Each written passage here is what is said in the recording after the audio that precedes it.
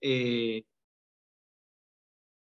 le agradecemos que comparta con nosotros algo que no tiene repuesto ni recuperación, como es su tiempo. De manera que, bueno, este, como hacemos en cada entrevista, eh, lo primero que hacemos es este, eh, esta cuestión empática que tiene el, el, entrevistado para con nosotros, para con el grupo, de más allá de, la entrevista, brindarnos justamente su tiempo. Así que, buen día, Mauricio. Y bueno, lo primero es saber cómo, cómo se inserta un comunicador, un periodista en, Estados Unidos, porque me ocurre, creo que al resto nos ocurre, les ocurrió también, verte cada vez que hay algo desde un tiroteo, que no sé por qué, tal vez nos puedas explicar, ocurre habitualmente en un colegio de Estados Unidos hasta la pandemia o la semana pasada que fueron las elecciones legislativas. Este, bueno, sos como un referente. Te he visto en Canal 26, te he visto en Crónica, te he visto en La Nación Más, te, he visto en radios, te escucho, prendo una radio y te escucho, me, ha sucedido. Entonces, ¿cómo se hace para insertarse y ser un referente, este, como lo sos, eh, del periodismo? ¿Cómo, ¿Por qué te llaman los medios argentinos cada vez que ocurre algo en Estados Unidos? Bueno, antes que nada agradecerte y, a ver, es inusual que me hagan preguntas, ¿viste? Eh, siempre uno, las preguntas las hace uno, pero, pero bueno, acá estamos, ¿eh? Eh, y muy agradecido, por supuesto. Ah, em, mira, em, de pronto yo siempre digo, quizá no hay tanta gente en Nueva York, pero fuera de eso, que en realidad hay periodistas, me parece que estar en Nueva York es em, estar en el foco del mundo. Esa es la cuestión. Todo pasa por Nueva York. Cuando hay un problema, eh, no sé, con el tema del dinero en el mundo de la bolsa, Wall Street. Ahora con el tema de que, de que tiraron un misil o no tiraron un misil, de, eh, que Rusia tiró un misil, que parece aparentemente no, que fue de las mismas tropas de Ucrania, siempre refieren a Nueva York. ¿Por qué? Porque si hay una guerra nuclear, uno de los, el primer objetivo de cualquier lugar es Nueva York obviamente, como, como viene pasando siempre. Mira, hace, hace poquito se hicieron cinco años de los argentinos que un terrorista arrolló, que iban en bicicleta, eh, hace dos semanitas atrás. Eh, y todo refiere a Nueva York, todo refiere a Nueva York. Y me parece que eh, esa es la cuestión, y yo siempre le cuento a los amigos que de pronto si, si hubiera venido a, la, a Nebraska, por dar un ejemplo, o a Montana, de pronto nadie me hubiera llamado, ¿no? Y, y hubiera hecho mis programas, ese tipo de cosas, porque obviamente yo vengo de, de, un pueblo chiquito, pero hice toda la vida, estuve ligado a los medios, mi papá es dueño del medio más antiguo radial de General Belgrano, y, y entonces, bueno, para mí fue natural, aunque yo no vine por esto, no, no, no fue tan fácil al principio, yo, yo vine después de la crisis del 2001, yo vine en enero del 2002, eh, vine a cargar cajas, a hacer lo que había que hacer. En Argentina no se podía, te cortaban la luz, el cable, eh, te cortaban todo. A pesar de tener una radio, yo siempre digo a la gente, uno no pasaba hambre porque hace canje en el interior, ¿no? Va a carnicería cachito, dame cinco chorizos por una publicidad, pero, pero sí era, era invivible. Entonces me vine por unos meses y esos meses se convirtieron en 20 años. ¿Qué pasó? Hace unos, cuando entré en radio, eh, como entré, entré de operador de radio porque eso también, la ductilidad que tienen los, los periodistas del interior, se hacen de todo. ¿eh? porque a diferencia por ahí de, los de Buenos Aires, viste que tienen más concentrado, por ejemplo, dicen, no, yo soy periodista, yo no puedo barrer la radio. Bueno, nosotros en el interior hay que barrer la radio, en su momento, no sé, arreglar cabezales, ese tipo de cosas. Entonces, entré, después de golpear un montón de puertas, entré a operar un programa de radio, uno. Eh, al tiempo se fue alguien de, la operación técnica desde la radio, que sería como la radio en momento, como sería Mitre en Argentina, era una radio nacional. Eh, hablé con el gerente y le dije, mira, yo quiero tener mi programa. Y me vendieron media hora los sábados en la mañana y ahí arranqué. Ahí arranqué. Y bueno, eh, el hecho de estar en esa radio permitió que en su momento, por ejemplo, Nelson Ibarra, me, Néstor Ibarra, perdón, me, me, conectara. Chiche Heblon fue otro de los que me conectó en su momento. Chiche Heblon me llamaba, pero estoy hablando hace 15 años atrás, y para ver precios, ese tipo de cosas, pero eran cuestiones de radio, ¿no? Hasta que sucede lo de la pandemia. Y, en la pandemia, uno de los puntos neurálgicos, sobre todo porque en abril acá murieron 40.000 personas en un mes, fue Nueva York. Entonces, por eso yo siempre digo, el tema de haber estado en Nueva York, obviamente que facilitó por ahí la llegada a los grandes medios, ¿no? E, esa es la verdad. Y no solo me, llaman los medios nacionales, como vos decías, me llaman muchos del interior, salgo también para Chile, salgo para Perú, salgo para Colombia, para la costa este. Eh, pero siempre el, tema es Nueva York, ¿no? Y también la ductilidad que tenemos los argentinos, ¿viste? Que, un día hablamos de, de COVID y al otro día podemos hablar de un linchera que, que, estaba jugando al fútbol en la calle, ¿viste? Ese tipo de cosas. Eh, que, que, a nosotros la, la, la, tenemos un training diferente y yo lo veo en los argentinos porque yo trabajo con colegas. Yo tengo un programa que se llama hace 20 años, 18 años, se llama La Polémica, y tengo colegas de, de, Ecuador, de, de, Colombia, de El Salvador, y yo veo que no tienen la ductilidad que tiene el argentino, ¿no? E, el, ese programa, y después vuelvo sobre, sobre esta cuestión que parece que, así como viste, acá en la Argentina decimos que Dios atiende en, en, Buenos Aires, este, en, el planeta Dios atiende en Nueva York, sería una cosa así más o menos. Sí, sí, tal cual.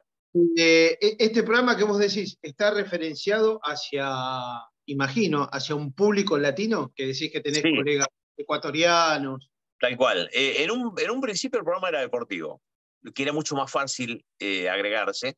Eh, y después, eh, y ahora, bueno, es, un programa de, de, todo, un programa de interés general.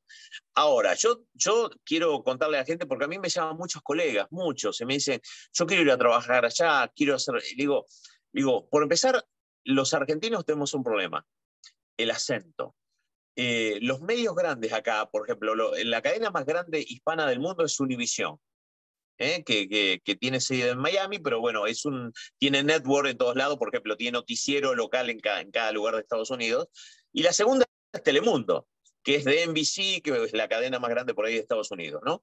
Junto con ABC. Y, y, y en esos canales yo trabajé en una época, de hecho trabajé cinco, años con Talía, en un programa que hacía Conexión Talía. Eh, pero el acento siempre fue como una barrera, siempre quieren mexicanos, colombianos, incluso hasta ecuatorianos. Eh, ni hablar Nueva York, que tiene mucho caribeño, mucho dominicano y mucho eh, puertorriqueño. Obviamente puertorriqueño fue la, es la, los hispanos que hicieron punta en Nueva York, los primeros hispanos que hicieron punta hace 80 años atrás. ¿no? Eh, entonces, a, medida que fue avanzando, y vos sabés que yo llegó un momento que yo intenté trabajar en Telemundo, Univisión, tuve algunas chances, pero gracias a Dios que no terminé haciendo producción propia. ¿Por qué? Porque después fueron echando toda la gente y los canales se quedaron solamente con mexicanos, prácticamente con mexicanos, ¿no? Entonces, es un problema, ¿viste? Entras a trabajar en una radio grande, como decir, en un, canal grande, como decir, entro a trabajar en Canal 13, pero no sabes si vas a durar un mes o un año o dos, porque sabés que se, posiblemente en algún momento viene alguno con acento mexicano que de pronto no es tan talentoso, de pronto no está tan preparado, pero el tema del acento delimita muchísimo, al menos en Nueva York. Yo sé que en Miami es un poco diferente, allá en el 2001 fueron 500.000 argentinos, entonces ahí, ahí eh, está mucho más diversificado y como mucho más aceptado el acento, el acento que tenemos nosotros y los uruguayos pero no Nueva York. En Nueva York hay que ser realmente caribeño. Pero como es producción propia, nosotros nos pagamos el espacio, nosotros nos conseguimos la publicidad, hacemos todo. Eh, no hay ningún tipo de problema y trabajamos tranquilamente, ¿no?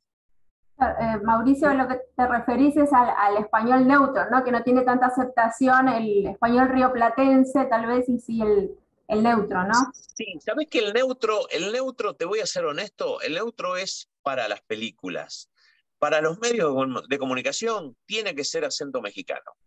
Tenés que, hablar eh, mexicano o, como te decía, colombiano y, tener incluso expresiones. Por ejemplo, eh, no manches, güey, ¿me entendés? Cosa que a nosotros no nos van a salir jamás en la vida, por más que quisiéramos, ¿no? Eh, no puedo, yo, soy muy amigo de Ronen Suar, que está en Nueva York también.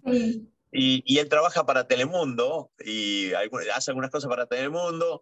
Y, y él ha incorporado el acento. A mí realmente me, lo, hablo como, como, como broma, se podría decir, ¿no? Cuando uno está con un mexicano, habla, trata de, acercarse. Claro.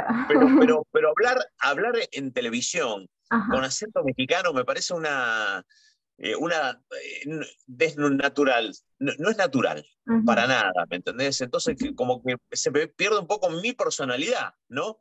Eh, por eso me, me, quedé tranquilo con el tema de la producción propia. Y, bueno, y obviamente cuando te llaman de, de otros países, no de, los, no de acá de Estados Unidos, pero te llaman de otros países, aceptan que uno no tenga el acento argentino. No hay ningún tipo de problemas con eso, ¿no? porque realmente uno trabaja de, de corresponsal en ese sentido, ¿no?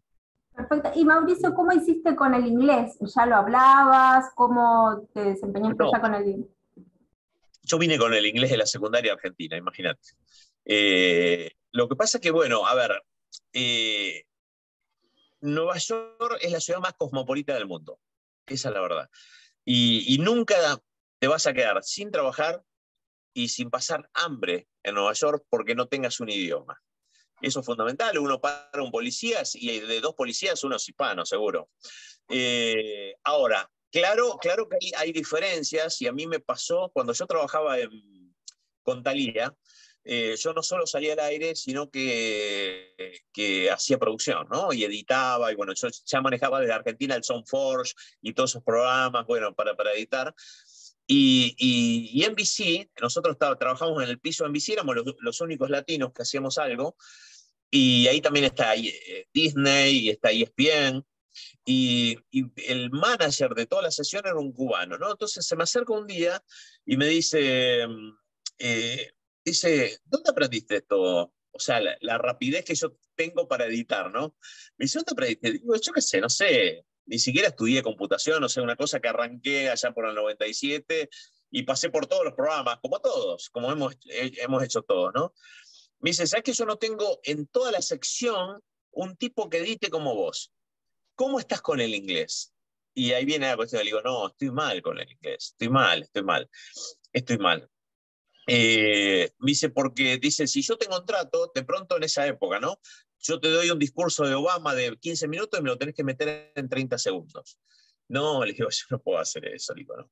Pero, mientras que yo ganaba en ese momento con Talía 35 la hora, ponele, con él eran 100 la hora, para ver, que ver la diferencia. Pero ¿qué pasa? Entonces me planteé, en ese momento, digo, bueno, voy a, voy a estudiar inglés. Voy a la acá, acá hay muchos lugares para estudiar totalmente gratis, las universidades te dan, te dan inglés gratis. Y, y fui, pero había que ir de lunes a viernes, tres horas por día. Y yo ya estoy grande para hacer ese tipo de cosas, ¿no? Dije, dije, no, dije, eh, aparte, para tener, yo siempre planteo la misma cuestión, para tener un inglés para editar a Obama, precisaba por lo menos estudiar tres años. Y digo, estar tres años, de lunes a viernes, tres horas por día. No, ahora, si hubiera venido a los 20 o a los 18, hubiera cambiado la cosa. Ahí sí, porque realmente uno, uno con, inglés, evidentemente, consigue mejores trabajos y son mejores pagos y, bueno, y, de pronto no, no hubiera ido a la producción propia, ¿no? Eh, pero bueno, y, incluso consigue otro tipo de publicidad, porque también la producción propia no es lo mismo ir a buscar una publicidad, no sé, a una cadena de, de pollo peruano, eh, que ir, por ejemplo, a Sears, que es una cadena nacional de electrodomésticos, ¿no? Ahí se necesita tener un inglés muy bueno, ¿no? ¿Preguntas?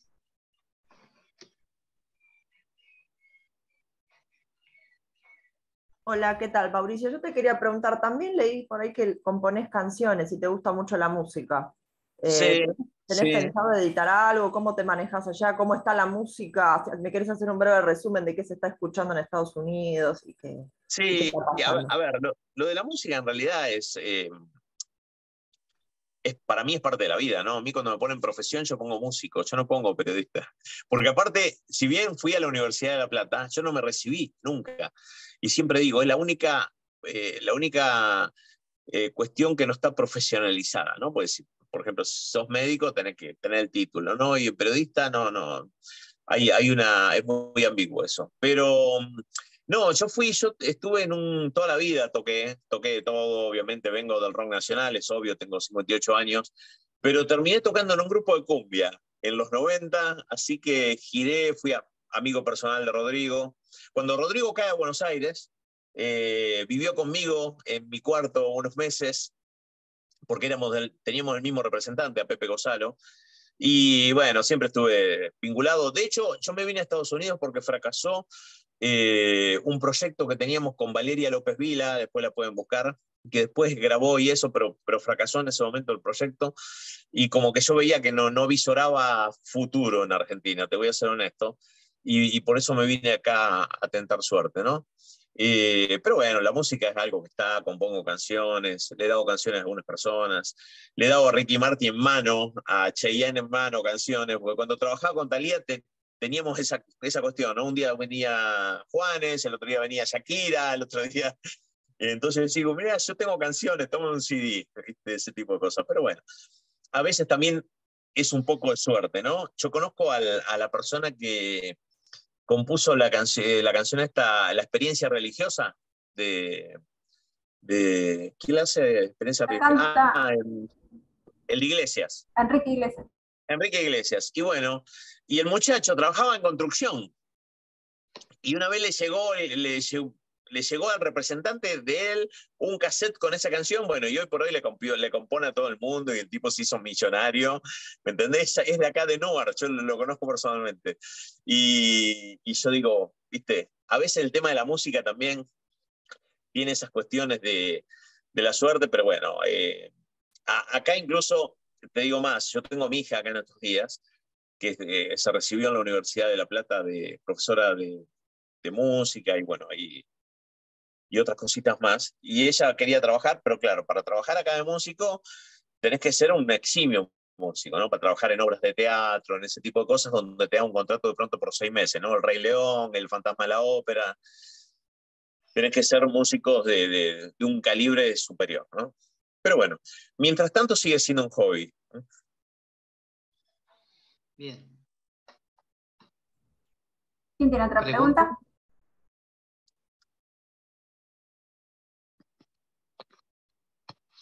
o me la mandan por acá, si no pueden hablar, me la mandan por el chat. Hola, Mauricio, ¿cómo estás? Eh, Hola. Sí.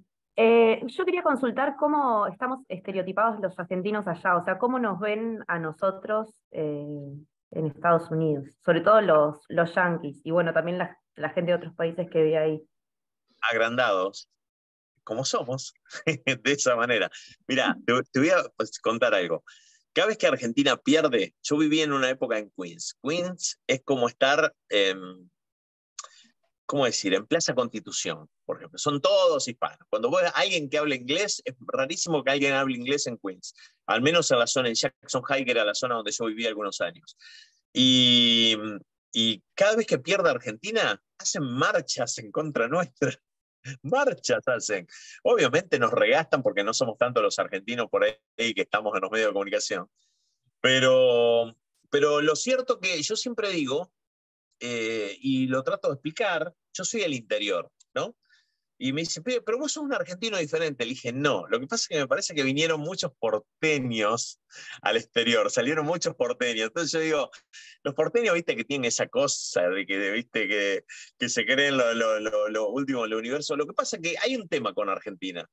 Nosotros tenemos un cierto orgullo, y, yo siempre, cada vez que lo hablo con alguien, me dice, ah, pero ustedes siempre que ganaron el premio Nobel, digo, pero qué es verdad ganamos premios Nobel, tenemos al Papa, tenemos ganadores de Oscar, ¿me entendés? Y, nosotros en la radio, yo juego mucho con eso, ¿me entendés? Cuando llama un ecuatoriano y empiezan, ah, usted es argentino, le digo, pero escucha, maestro, si ustedes nunca ganaron un Oscar, que, no pueden hablar. Entonces también jugamos con esa cuestión de que los argentinos, en broma, ¿no? Obviamente, eh, somos, viste, otro tipo de cosas. Pero lo cierto que, bueno, eh, hay, un orgullo con el ser argentino y fíjate, ayer, ayer eh, voy a, un lugar y me agarran dos mexicanos en un negocio que estaba, fui a comprar algo, un billete de lotería, y me dice, ¿ganamos el mundial o no ganamos el mundial? O sea, ya nos dan hasta ganadores del mundial, ¿no? Cuando nos escuchan el acento. Y, y ese es el tema de ser argentino, ¿no? Yo, viste, uno obviamente está muy orgulloso, pero a veces no nos miran. Y en cuanto a los americanos, en realidad, argentinos, no, no, no. Los argentinos somos latinos. Entonces, para el americano, todo lo que está abajo de México, de México para abajo, estoy igual. Estoy absolutamente igual, ¿no? Es más, cuando yo le digo que el Papa es argentino, me dicen, me dice, no, si es italiano. No, le digo, es argentino. Y, y ni siquiera lo creen, ¿no? Qué buena, qué buena. ¿Qué más tiene? ¿Alguna pregunta? Yo tengo una consulta. Buenos días, Mauricio. Este, te quería preguntar por el tema de las elecciones allá en Estados Unidos, porque por lo que tengo entendido, y corregime si estoy incorrecto, el clima que se vive allá es el triple de lo que podría llegar a ser acá en Argentina. Es como que ellos son muy, muy, muy partidarios de, Trump o de Biden, etcétera. Te quería preguntar cómo, cómo se vive allá todo el tema este. Sí, mira, em, nosotros estamos en, la, en, Argentina preocupados por la grieta, y, yo siempre digo que acá la grieta es peor, pero fuera de eso, eh, este martes pasado pasó algo, yo, yo realmente lo, lo avisoraba, voy a ser honesto, lo avisoraba, pero no pensé que iba a ser tan rápido. Em, yo lo conozco a Donald Trump, lo conozco de antes de que sea presidente, ¿por qué? Porque vive en Nueva York. Lo veía en el US Open, lo veo todos los años en el US Open, bueno, desde que fue presidente no fue más, siempre fue abucheado, todo el mundo eh, sabe que es un delincuente acá en Nueva York, hizo tres bancarrotas, lo cual un montón de gente se suicidó y no cobró por, por, porque él hizo la bancarrota, y, y todos saben que es un delincuente. Ahora, el tipo sube con un discurso eh, de, una América profunda que estaba, estaba un poco soslayada y dejada de lado, y, obviamente también con el problema económico que hay en Estados Unidos y mundial, hay, hay, muchos bolsones de pobreza. Obviamente que yo, como siempre digo, la pobreza no es como la pobreza en Argentina. Eh, es otro tipo de pobreza. Pero acá estuvieron toda, toda la vida acostumbrados a cobrar, a comprarse el mejor auto, el mejor televisor. ni siquiera hacen turismo acá, porque el turismo lo hacen internamente. pero bueno, había, había mucho, mucha gente postergada y también había un discurso postergado. Eh, entonces, em, cuando sube Donald Trump, todo ese discurso sale a flor de piel. Obviamente que fueron cuatro años para mí terribles, para mí terribles, pero atento a esto, en lo económico fueron muy buenos. Yo no sé si fue por Donald Trump o por ahí por las cuestiones macroeconómicas que, se dieron, pero, eh, pero realmente, por ejemplo, les doy un ejemplo claro. Yo tengo un amigo, acá hay dos tipos de jubilaciones, la jubilación común y el retiro. ¿El retiro qué es? uno en su trabajo va poniendo un dinero todos los meses y cuando se retira tiene un, dinero. Ese dinero se pone en la bolsa en Wall Street siempre, en acciones, no uno elige si son acciones eh, más volátiles, acciones más seguras, eh, ese tipo de cosas. Y yo tengo un amigo que tenía 100 mil dólares y pasó a tener 400 mil en los cuatro años de Donald Trump. Ahora perdió 100 en estos dos años de, de, Biden. Entonces, obviamente, si vos le preguntás a él a quién votaría, él vota a Donald Trump, porque le hizo ganar un montón de plata simplemente con, con las cuestiones, el, el, viento de cola de cómo estaba la, la, cuestión de la economía mundial. Dicho esto, dicho esto, el tipo tuvo realmente actitudes horribles. Y a las pruebas me remito, hizo un golpe de Estado. A ver, Estados Unidos nunca había tenido un golpe de Estado y él intentó hacer un golpe de Estado el 6 de enero le pueden poner el nombre que quieran, insurrección, lo que sea, pero fue un intento fallido de golpe de Estado. Eh, del núcleo, él, tiene un núcleo duro de un 30% aproximadamente, que lo sigue a rajatabla, a rajatabla, pero hay un 20% más, que es las personas que empezaron a dudar, que de pronto son republicanos, que le gusta, de pronto no le gustan los Clinton o los, demócratas, pero dicen, para, para, este tipo tiene eh, insurrección, se roba eh, eh, se roba archivos del FBI, que el FBI los tiene que ir a confiscar. acá en Nueva York tiene una demanda de millones de dólares de falsificación de impuestos que le hizo la, fiscal del Estado, Leticia Yen, que la conozco y es durísima y va a ir a fondo con la cuestión. Entonces, esa gente el martes o no votó o votó demócrata. Entonces, yo siempre digo, ¿quién ganó el martes pasado? Y ganó la democracia, definitivamente. ¿Por qué? Porque por más que él ayer se haya lanzado a candidato a presidente, va a tener un montón de gente, y entre ellos Ron DeSantis, que es el gobernador de Florida, que no es santo de mi devoción, no me gusta, ha tenido algunas actitudes realmente horribles, pero está en ejercicio y la gente lo ama, en Florida, digo, y, lo reeligieron. Y, se le han caído un montón de chances a Donald Trump. De hecho, la cadena más grande de, de, que apoya justamente la cuestión conservadora, que es Fox, eh, ya le bajó el pulgar a Donald Trump. por más que ayer se presentó, salió el dueño de Fox, que es un inglés, Murdoch, y dijo, es un momento de, de hacerse un costado. Incluso muchos líderes republicanos que iban atrás de Donald Trump, ahora, ahora están diciendo, eh, se pusieron contentos con lo que pasó el martes. ¿Por qué? Porque antes, por la cuestión electoral y porque tenía los votos, y eso pasa en muchos países del mundo, porque tenía votos, iban atrás de, él como líder, pero cuando se le cayó un poco la estrella, se empezaron a levantar, ¿no? Así que yo no, no creo que él vaya a, agarrar la nominación del Partido Republicano, porque además tiene un montón de frentes judiciales, un montón. Y acá en Estados Unidos uno anda bien hasta que te ponen las esposas o vas a un juicio. Esa es la verdad. Eh, e, eso acá ha pasado todo el tiempo con, con con legisladores. yo conozco un concejal que hizo un montón de cosas buenas y, lo encontraron en una, en una, y lo metieron cuatro años preso y lo inhabilitaron de por vida. ¿no? Eh, entonces, cuando, cuando, les hay alguna de las condenas, a Donald Trump, se le termina de bajar la estrella, evidentemente. Mauricio, hay una pregunta de Clarisa eh, sobre el tema de la, de la discriminación racial a partir de, lo, de, Floyd. ¿Cómo, está ese tema?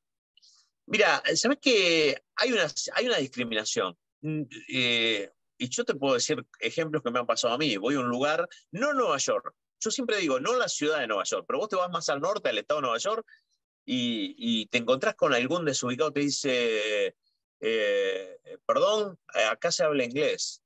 Entonces uno le tiene que explicar en mi mal inglés que la constitución de Estados Unidos, y fueron muy inteligentes los, padres fundadores, no pusieron el inglés como, como, como lengua. Lo dejaron abierto, ¿por qué? Porque los padres fundadores eran franceses, ingleses, de Dinamarca, holandeses, y fueron inteligentes y dijeron, vamos a hacer un crisol de razas y no vamos a discriminar. discriminar. Dicho esto, eh, hay una cuestión con, con con, la cuestión de los morenos. Y digo morenos porque acá decir negro como que, que, no, no, está bien aceptado porque hay una palabra en inglés que es despectiva y, que se puede entender, ¿no? Eh, pero es, es, muy, es muy profundo la cuestión. A ver, cuando em, se consiguieron todos los derechos, después de haber sido esclavizados durante un montón de... Bueno, empezó Lincoln en 1863 creo que hizo la, fue justamente quien, sacó el tema de, los esclavos. Pero siguió hasta, hasta Luther King, o sea, 100 años después, siguió la cuestión en algunos estados, sobre todo en el sur, no justamente en el norte. En el sur, acá en el norte no pasa absolutamente nada, ¿no? Y, y, qué pasó también? Muchos que venían de, con antepasados de esclavitud. Aparte es muy cómico, ¿no? Porque se llaman, por ejemplo, los, los, los, morenos tienen de apellido Smith, eh, Moore, y, es en realidad porque eh, le ponían el nombre del dueño de la plantación. Tenía 100 esclavos, los 100 esclavos se llamaban Smith, ¿no? Eh, ni siquiera, por eso Casus Clay, Mohamed se cambia a Mohamed porque dice que el caso Clay era el nombre de, la esclavitud. Clay era el nombre de la esclavitud. Y, pero, pero, ¿qué pasó? Cuando consiguen todos los derechos, muchos, acá hay beneficios como hay en Argentina. Acá uno puede conseguir sección 8 y no pagar el alquiler por un tiempo, puede conseguir cupones de comida, que es como, como si te dieran un subsidio. Y muchos se fueron hacia el otro lado, para conseguir ese tipo de cosas. De hecho, cuando uno va a ayuda social, la gran mayoría son o puertorriqueños o morenos, no es casualidad, ¿no? No digo que sean todos, pero también con el componente racista que había blanco, siempre hay un choque con esa cuestión, ¿no? Yo lo veo también a veces en Argentina, ah, por esa persona recibe subsidio, eh, no, quiere trabajar. Y por ahí no es que no quiera trabajar, por ahí no tiene las condiciones, ¿no? Eh, e, esa es la, verdad. Bueno, acá eso estaba medio sobre la, sobre la alfombra tapado hasta que vino Trump. Cuando vino Trump, todo ese poder blanco del sur, y sobre todo religioso, ¿eh? arrancó flor de piel y bueno, y mezclado con la cuestión de las armas y un montón de cosas, que las armas están consagradas en la Constitución, eh, se hizo un componente como explosivo que el martes pasado, gracias a Dios, la gente dijo, basta, basta. Porque si vamos al caso, la democracia es el único sistema perfectible. O sea, ¿qué, qué defensa tenemos nosotros como ciudadanos? Votar. No tenemos otra podemos protestar, lo que sea, pero si no votamos a las personas correctas. Y bueno, y anoche casualmente terminó de definirse una gobernación en, Arizona. Aparte salió el, odio, el odio contra, contra aquel que viene eh, cruzando la frontera, como si fuera un delincuente. Yo te puedo asegurar, mira, que debe haber algún caso, pero de los millones que cruzan a trabajar de Centroamérica, de México, bueno, ahora están viniendo muchos venezolanos, cubanos, todos vienen a trabajar y todos se someten a las reglas de este país. Todos, todos. Como te decía, puede haber algún desbandado, como hay también en la población blanca, como hay en, la población india, en cualquier población. Eh, entonces, anoche, como te decía, perdió la, candidata a gobernadora, Carilei, que no, es conocida, obviamente, pero iba a ser quien acompañaría a Trump en las próximas elecciones como vicepresidenta porque a Pence lo tiró, a la basura. Anoche casualmente vi un reportaje a Pence que le hizo CNN, muy bueno, por cierto, y que fue el vicepresidente de Trump. Y ella perdió, perdió por décimas, pero perdió. Entonces, a, todos los que por ahí amamos la democracia, porque la tipa es una periodista por 20 años en Phoenix, Arizona, eh, que obviamente salió con el mismo discurso que Trump, o peor, de discriminación, de los que vienen a, trabajar hispanos son todos delincuentes, que, lo, que, hay que no hay que ayudar más a Ucrania, que se arregle Ucrania. Eh, y, ese era un poco el discurso del Partido Republicano. Por eso te dije, la elección del martes me parece que es, dio como una bisagra y, automáticamente empezaron a salir candidatos que, que, no se sabía. O sea, hasta el momento era Biden-Trump, Biden-Trump. Ya ahora empezaron a salir algunos del Partido Demócrata, algunos del Partido Republicano, y me parece que fue muy sano lo que pasó el martes pasado, ¿no? Había una pregunta de Juan José. Hola, sí, ¿cómo estás? Yo tengo una pregunta. El tema eh, libertad de prensa, ¿cómo es en Estados Unidos ese tema? Mira, yo nunca tuve ningún tipo de problema, te voy a ser honesto, y nunca escucho nada. Mira, anoche casualmente estaba viendo eh, una, un periodista danés, estaba ahí en Qatar haciendo una nota en vivo en una plaza y lo pararon, le querían sacar la cámara, romper la cámara. Eh, eso acá no, no, no, sucede. Ahora, ahora. Eh, yo participé en una manifestación, participé como, como periodista, cuando, cuando empezaron la cuestión de, de los negros importan, Black Lives Matter, eh, en plena pandemia. En la 14, que yo no sé si se acuerdan que hubo saqueos de negocios, hubo un montón de problemas. Yo salí vivo para Mauro Viale en ese momento. Eh, vi volar una molotov arriba de mi cabeza, cosa que nunca me hubiera imaginado. Pero, y la policía en algunos momentos se pone muy dura y se pone dura, se pone dura sin que pase nada. Imagínense pasando algo, ¿no? Pero en realidad, nosotros hemos dicho cualquier cosa en la radio, les puedo asegurar, y nunca pasó absolutamente nada con nadie. Ahora, con Trump, Trump se enfrentó a, los medios de comunicación en grande. Por ejemplo, en español con, con Jorge Ramos, que está en Univisión, que es el periodista uno de, la cadena más grande hispana, que, que justamente desde, desde, desde que arrancó la presidencia, lo, lo, fustigaba, lo echaron de la conferencia de prensa, él hizo juicio. Ah, ¿Sabes que hay un periodista de CNN que le quitaron la credencial de la, y se la tuvieron que revolver la credencial? Porque, porque obviamente saltó, saltaron incluso los medios que estaban a favor de Trump, dijeron, no, señor, para, para, hasta acá llegamos, que es Gina Costa, búsquenlo por ahí, Gina Costa de CNN, le devolvieron la credencial para la sala de prensa de la presidencia. Salvo estos hechos que tienen que ver más con lo político que en otra, otra cosa, después no hay ningún tipo de problema. Eh, acá la, prensa volteó a un presidente, eh, Nixon, lo volteó a Nixon, con, con los papeles de, del Watergate. Claro, y, y, antes, antes también el New York Post, con, con, la película que es muy buena, The Post, que hizo Mary Streep, votó a McNamara con los papeles de, anteriores con, Vietnam y ese tipo de cosas la prensa tiene un poder muy fuerte, ¿no? Cuando, cuando dice eh, Trump y Carrie y toda esta gente dice de fake news, de fake news, yo digo, no, los fake son ellos, ¿no? Lo que pasa es que no se bancan cuando el poder es, tan corrupto, eh, no se banca que venga alguien y le, señale con el dedo, ¿no? pero es muy amplio acá la, cuestión, esa es la verdad. Mauricio, a lo largo de la charla, en, varias oportunidades eh, nombraste eh, nos explicaste, nos comentaste que sos oriundo de un pueblo de la provincia de Buenos Aires. ¿Cuál es el pueblo? ¿Qué es ese pueblo para vos? ¿Qué representa? Y ese es mi lugar en el mundo, General Belgrano, olvídate.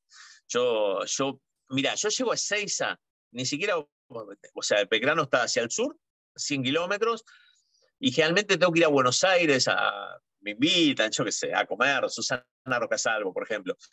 Y yo decido ir a Belgrano, olvídense, no me importa nada. Voy a Belgrano porque aparte tengo las raíces y, bueno, y tenemos dos medios nosotros ahí. Mi papá no está, lamentablemente, se fue con, en la pandemia. Y, bueno, y siempre trabajamos con la radio, la, la, radio de la pionera toda la zona y pusimos otra radio más en el 95, la puse yo, por cierto. Y, y nada, para mí es el lugar más lindo del mundo. Yo conozco un Estados Unidos te da la posibilidad de conocer el mundo. Eh, por ejemplo, ir a Londres y volver te sale 250 dólares, ¿no? Por ejemplo, ir a Barcelona, 300 dólares. Ir a París, y es una plata alcanzable que uno, uno puede pagar. Entonces, cuanto más conozco, más me quedo con General Gran. Esa es la verdad. Bien. ¿Alguna última aparte, pregunta? Bueno, aparte que, que tengo mi familia, mis afectos, mis amigos son de, allá, ¿viste? Es, es, el lugar donde yo estoy 12 días, son 12 días que estoy sonriendo, ¿eh? feliz, realmente. Bien. ¿Alguna última pregunta?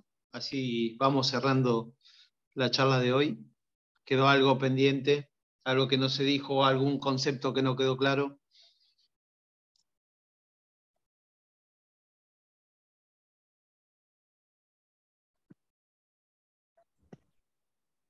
Marta, ¿algo para comentar? Eh, no, no, no, no hay más preguntas aquí en el chat tampoco, así que no. Bueno, Mauricio, eh, por último, ¿qué consejo nos darías, les darías a, estos periodistas jóvenes que, bueno, que tienen en algún momento la intención, la iniciativa o el sueño de hacer pie en un lugar ahí, en el centro del mundo? Para, para mí hay una sola opción en la vida, leer. Y no hay nada. Eh, cuando uno se... Yo tuve una familia de, maestros y desde chicos, viste, nos tiraban los libros en la cabeza, ¿no?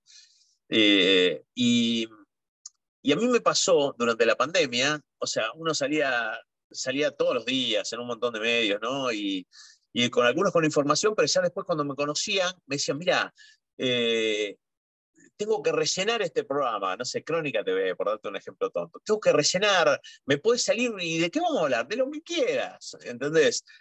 Y, en ese de lo que quieras, eh, me vino muy bien todo lo que leí en mi vida, ¿no? Eh, te, forma, evidentemente te forma y nunca sabes, es un conejo que no sé, nunca sabes cuándo lo vas a sacar de la galera. Y, aparte obviamente te da el léxico y te da la, capacidad de comprensión y mm, a mí me pasa acá, me pasa acá que, que, a nivel político la gente obviamente trabaja mucho, no, no está imbuida como en Argentina, Cristina Macri, Cristina Macri, no, acá, acá, la gente trabaja y por ahí cuando llega la época de elecciones se pone un poco a tono y, mete el voto, ¿no? Pero, pero lo cierto que, que me ha servido muchísimo para, para el, tema de leer, para tener contacto con la gente, ¿no? Y, y, y poder hablar de muchos temas y de muchas cosas. Me parece que eso es todo porque hace a la cultura, ¿no? el argentino es un pueblo que ha leído. No sé ahora cómo están las cuestiones, pero, pero mi generación, les puedo asegurar que es una generación que, que leyó, que se expresa bien, que, y me parece que eso es lo básico, ¿no? Eh, eh, tener, tener herramientas intelectuales, porque en algún momento van a servir, siempre. Sea lo que sea, a mí me pasó con el programa deportivo que, yo terminaba hablando, terminaba hablando de béisbol, porque claro, eh, uno sabe de fútbol todo, pero cuando empezás a conocer las reglas se te hace hasta, fácil. Y eso no le pasa a periodistas de otros países, les puedo asegurar, no les pasa, como, como que se enriedan un poco la cuestión, pero leer me parece que es lo básico. Y ser curioso, obviamente. Ser periodista es ser curioso. Si no, si no fuéramos curiosos, no, eh, no podríamos hacer nada. ¿no? La, curiosidad, y ahora, y ahora tenemos una facilidad que antes no teníamos. El tema del Internet está en la palma de la mano. ¿viste? Yo estoy todos los días, uno termina buscando algo y termina en, otro tema totalmente distinto porque va agregando páginas. ¿Y qué pasó con esto? ¿Y qué pasó con este otro? y recién estaba mirando, hay un condenado a Texas, ¿no? Y entonces iba, inmediatamente me fui a ver con gente que murió por iniciación letal en, Texas, y ya me dio la lista, y ahí había un argentino, y ya me fui a la... Es interminable. Por eso hay que leer y, ser curioso. Mauricio, muchísimas gracias por, por esta charla, por los consejos, por la sugerencia y sobre todo por, por lo que decimos siempre, por compartir con nosotros algo que no tiene repuesto como es tu tiempo. Un abrazo. Y prometo, enviarte la, grabación. Dale, abrazo grande y fue un gusto realmente. ¿eh? Muchas gracias. Chao, chao. Buena semana para todos.